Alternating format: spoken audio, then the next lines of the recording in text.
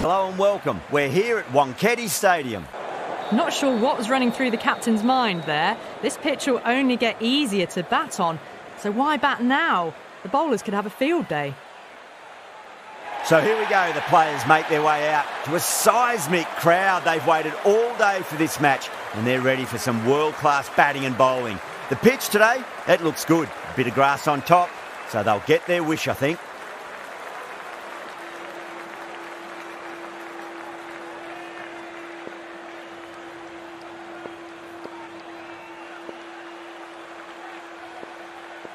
Right, so we're ready to get underway. There's always something special about the first delivery. It can really set the tone for a match.